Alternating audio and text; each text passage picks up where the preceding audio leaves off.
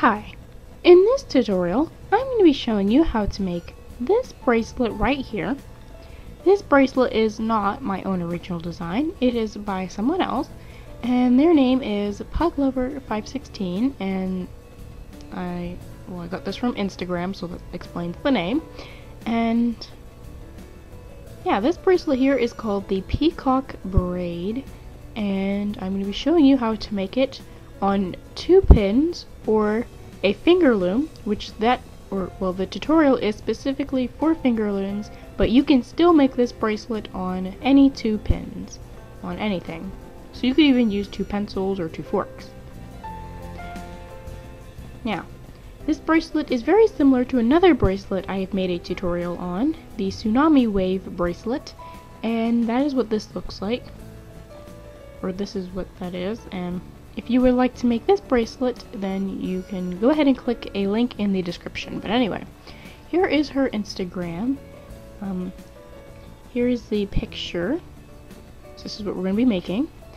And here is the Flipagram, which that's what it's called. It's just a little slideshow showing you how to make it. And you probably can't see the words, but it says that I can make a tutorial. And yeah, so to make this bracelet, you're going to need any two pins on anything, but this tutorial is specifically for finger looms. You will need a clip. I'm going to be using a C-clip because I just have tons of these just around. It, depending on what kind of loom or what you are using, you may need a hook. But I'm using a finger loom, so I will not need one. And you will also need rubber bands. So as you can see here, there are two different groups. There's this A group and this B group, and I'm going to go ahead and explain what each group is. So this A group, or the A rubber bands, are going to be the rubber bands that are kind of this main single chain here in the bracelet. So these blue rubber bands. There are these B rubber bands, the second group, and they are going to be the smaller single chain up here, or all these neon rubber bands, and they're very colorful in this example. So yeah, now that you know what you're going to need, get your supplies and use the pause button so that you can do so, and I will see you once you have everything. Alright, so to get started, we're going to need to place a cap band to begin. So we're just going to need to place a cap band, and to do that, you're going to need an A color rubber band, and what you're going to do is you're just going to twist it going horizontally across any two pins on your finger loom or just whatever two pins you're using.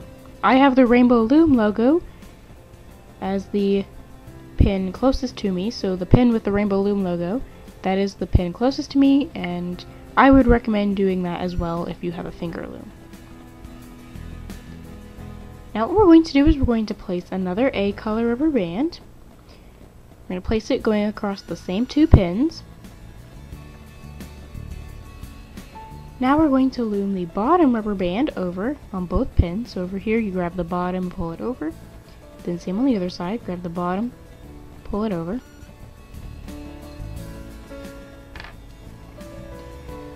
Alright, sorry about that. It was getting it's getting pretty dark outside and it's already cloudy, so it's kind of difficult to record. But anyway, once you have loomed that bottom rubber band, you are now going to place your first B color rubber band. You're going to get a B color rubber band and you're going to place it going across these same two pins. And what we're going to do is a little different from before. Instead of looming the bottom rubber band on both pins, you're only going to loom the bottom rubber band here on the left. So you're going to leave the right pin alone you're only going to loom over here on the left side.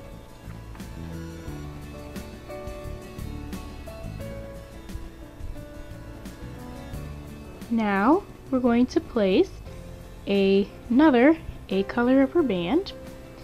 Just stretch it going across the same two pins. Now we're going to loom all of the bottom rubber bands on both pins. Over here on the left we grab the one rubber band and over here on the right we grab the bottom two.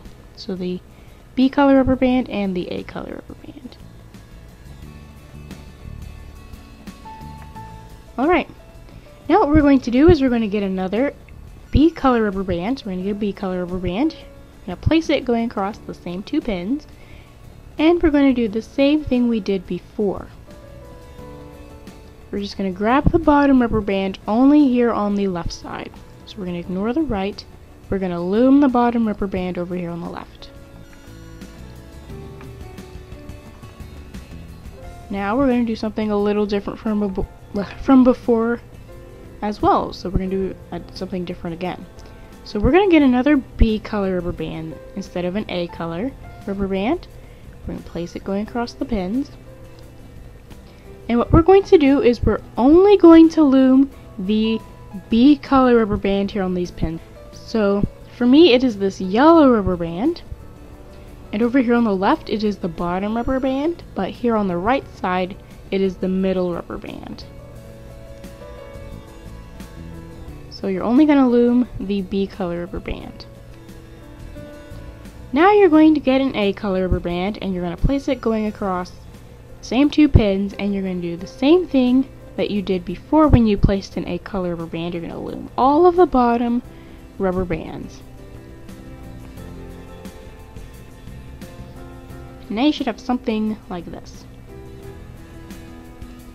So I just went through the pattern of making this bracelet once and I'm going to show you the, how to continue making this bracelet one more time and then I'm going to leave you to continue making this on your own because this is actually pretty simple once you get the pattern so so once you have this A color rubber band on your two pins you're going to get a B color rubber band and place it going across these two same pins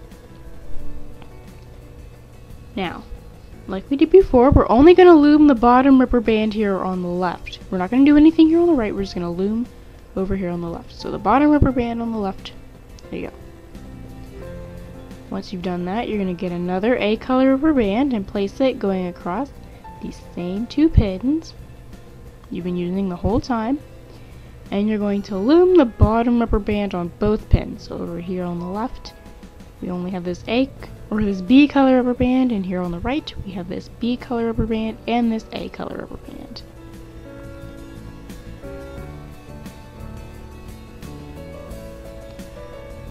Right. Now, what we're going to do is a little different.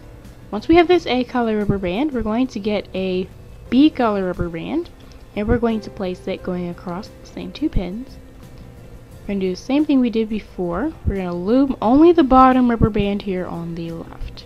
So we're going to ignore the right, we're just going to go over here on the left and loom the bottom rubber band. Now here's where it gets different. You're going to get a B color rubber band and place it going across these two pins. And you're now only going to loom the B color rubber band on both pins. So over here on the left, we have a B color rubber band, so we loom it over. And here on the right, we have an A color rubber band and a B color rubber band, but we're only going to loom this B color rubber band. And the B color rubber band should have been kind of the middle.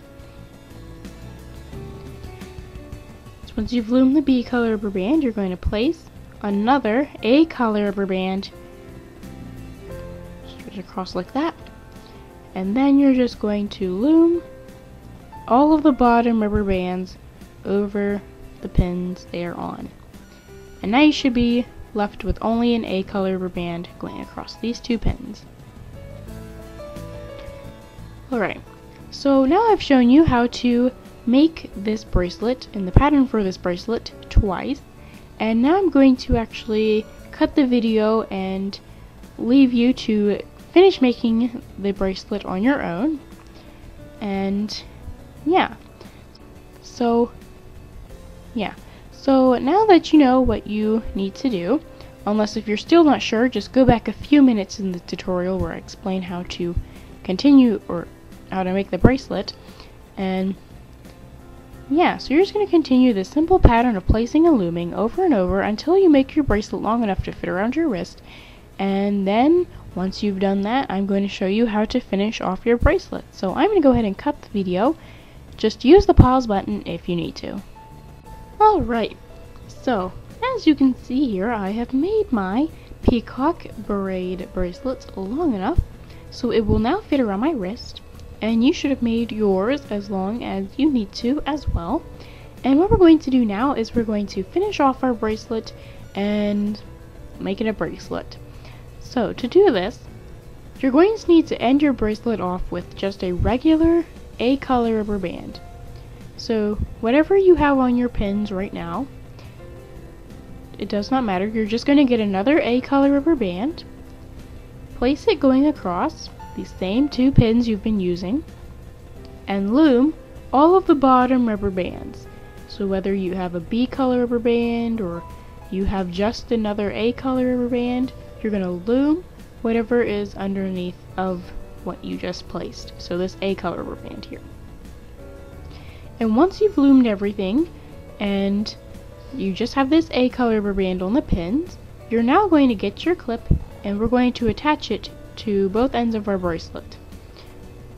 Now, if you are going to be using the big clip, then you will get your big clip and attach it to what I'm about to attach my regular clip onto. So, to attach your clip to this end of your bracelet that's on your loom, which if you're going to be using a big clip, then this is what you'll be attaching it to. You're going to grab one side of the rubber band and bring it over to the other pin with the other side of the rubber band. And now only one pin should have rubber bands on it. Alright, so whatever clip you have, just a regular clip or a big clip, you're going to attach it to this here pin, so this pin here. Then you can take these rubber bands off once your clip is attached to them. And there you go, your clip is on one side of your bracelet. Unless you're going to be using the big clip, then you're done and don't need to worry about anything else. So, now, if you're going to be making this a bracelet, you're going to find the cap band on the other side of your bracelet, and it should look like a circle. What you're going to do is you're going to stretch this cap band out onto one or two pins. You're going to get your your cap band on your loom. And make sure you stretch it out so it's easier. And you're going to get your clip on the other side of your bracelet and attach it to your cap band.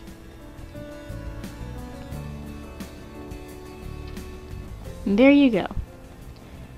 So once your cap band and your clip are attached to each other, you can take the cap band off of your loom and now your clip should be attached to both ends of your bracelet. And once that is true for you, you can go ahead and put your bracelet on. And bam!